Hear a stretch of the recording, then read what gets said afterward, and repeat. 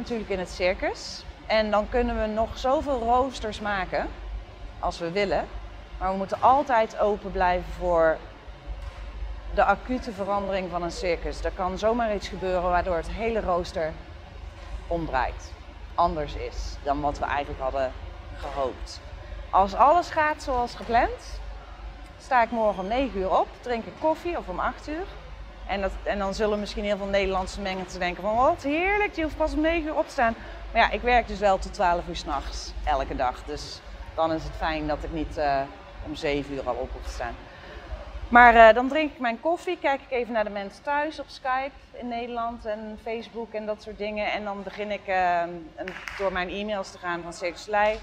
Neem de tram naar mijn werk en dan heb ik een meeting met mijn team. Dat zijn 12 mensen, artistic team, die mij helpen om alle 54 artiesten te managen. Dan gaan we over een aantal operationele dingen die er besproken moeten worden. Planning voor de komende weken. Um, misschien wat issues ook in hun department. Want dat is wardrobe, uh, de therapeuten die, fysiotherapeuten die meereizen. De coaching, al dat soort dingen worden dan besproken met elkaar. Um, daarna heb ik een meeting met de bandleader. Uh, en daarna heb ik een meeting met de stage manager over een aantal dingen die we moeten doen voor de show. En daarna heb ik een hele lange meeting elke vrijdagmiddag over de planning van de week erop. En dan kijk ik de show morgenavond. Ik heb acht jaar in New York gewerkt als danseres en choreografe. Uh, daarna in Parijs voor 2,5 jaar. En daarna ben ik eindelijk terug in Nederland gesetteld. En heb daar mijn eigen studio geopend. En ben doorgegaan met mijn dansgezelschap, wat ik in 1996 heb opgericht in New York. Um, dus ik was daarmee bezig en ik had mijn studio geopend. En in 2007 belde Six mij, omdat ze een uh, artistic director nodig hadden op Delirium, een van hun andere shows. En uh, voor drie maanden alleen maar. Dus ze zei van nou, drie maanden, dat kan wel. En uh, nou, dat was in april 2007 en ik ben nu nog steeds bij Circus. Maar wij hebben 21 shows die tegelijkertijd over de hele wereld uh, lopen. Dus uh, we hebben in afgelopen, ik geloof december, waren ze in de Ahoy met een andere show. En uh, komende maart zijn ze met de Michael Jackson Arena Show in de Arena. En uh, dus ja, de shows die reizen de hele wereld rond. En uiteindelijk komen ze wel in Nederland terecht. Mijn show, OVO, uh, zal waarschijnlijk de komende twee jaar nog niet in Nederland zijn. Want we hebben nu eerst op het programma nog 14 maanden Japan staan. En dat begint volgend jaar in 2014. Dus uh, we hebben eerst 3,5 jaar Noord-Amerika gedaan, nu Australië, dan Azië, dan Japan en dan hopelijk Europa. Maar ja, dat duurt nog even. Het, het podium is, is gecreëerd zo dat het lijkt op een uh, enorm uitvergrote zandkorrel eigenlijk.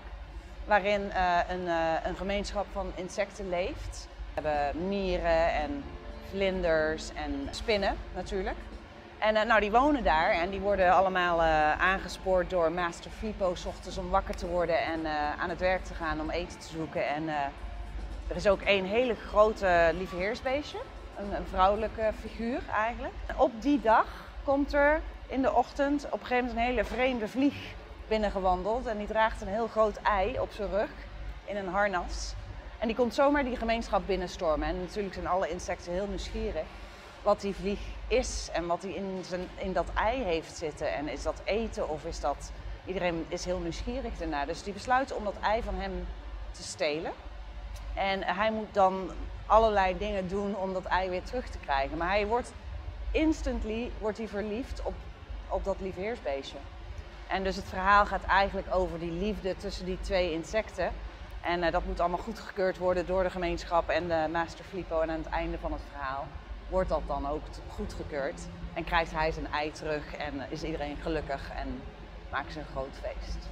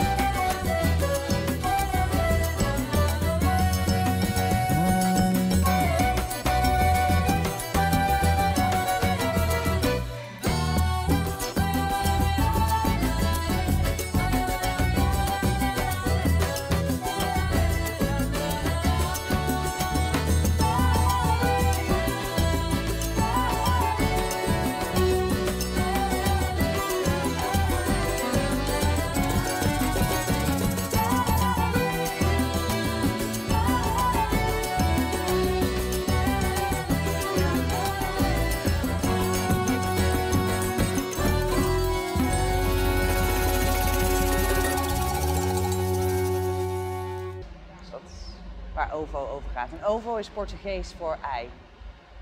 Het idee is altijd origineel van Guy Liberté, de oprichter van uh, Cirque du. Dus die kwam met dat idee in 2006 of 2007. En heeft toen een team, zoals dat altijd gaat, uh, bij elkaar geroepen van nou, ga maar een team zoeken. Een lighting designer, costume designer, choreographer, uh, set designer, sound designer. En uh, we gaan deze show maken. En dus de, de director van onze show is Deborah Kolker, komt uit Brazilië is een uh, movement director en zij heeft de hele show in elkaar gezet. De wereldopening was in mei 2009 in Montreal.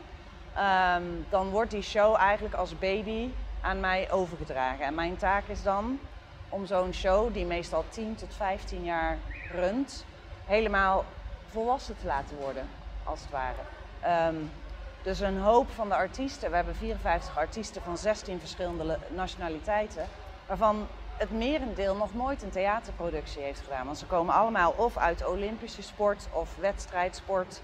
Um, dus die moeten leren om echt artiest te zijn. Elke dag, tien keer per week. Twee keer op een dag soms.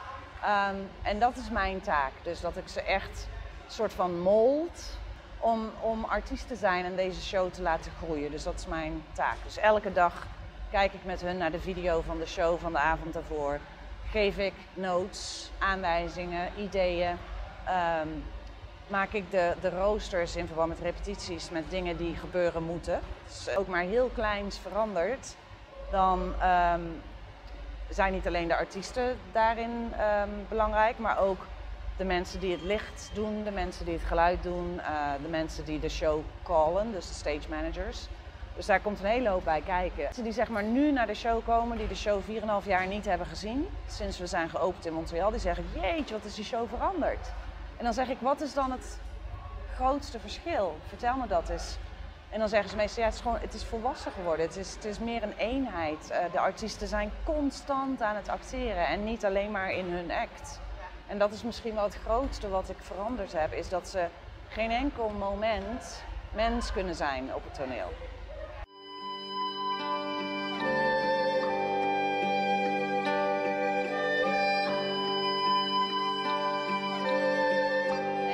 maar heel geweldig om in Australië te zijn. Ik heb nog nooit uh, meegemaakt dat de artiesten over het algemeen in zo'n goed humeur zijn hier. Omdat ze elke maandag zijn wij vrij. En dan, uh, dan kunnen ze een auto huren of wat dan ook en naar het strand en de meest mooie dingen zien hier. En het is altijd mooi weer. Dus het is gewoon geweldig om hier te zijn. Het is echt geweldig. En ik, ik spreek met mijn collega's in, in Montreal waar de sneeuw uh, zo hoog ligt en waar het verschrikkelijk koud is. En, Oh, we zitten toch liever hier. Ik vind het heerlijk. Ja. Het nadeel is wel, voor heel veel van ons, is dat je toch wel heel ver weg bent van je familie. En, uh, maar ja, daar wen je ook wel aan. Ik ben al sinds mijn negentiende op pad. Dus ik ben dat onderhand wel gewend en mijn familie is dat ook gewend. Maar toch is het soms wel fijn om in het vliegtuig te kunnen stappen en een paar uur te vliegen en dan even thuis te zijn. En dat is hier wel even anders, want het is al gauw uh, 24 uur, 25 uur reizen. Maar goed, daar kies je ook voor en, uh, en daar kiezen we allemaal heel bewust voor. En, daar zijn we ook, wat, en daarom zijn we ook zo close met elkaar hier, omdat we natuurlijk alleen maar elkaar hebben. Waar we mee wonen en reizen en leven en plezier hebben en successen doormaken en verdriet hebben samen, weet je wel. Kerst, oud en nieuw. Dus ja, je wordt echt een familie wat dat betreft.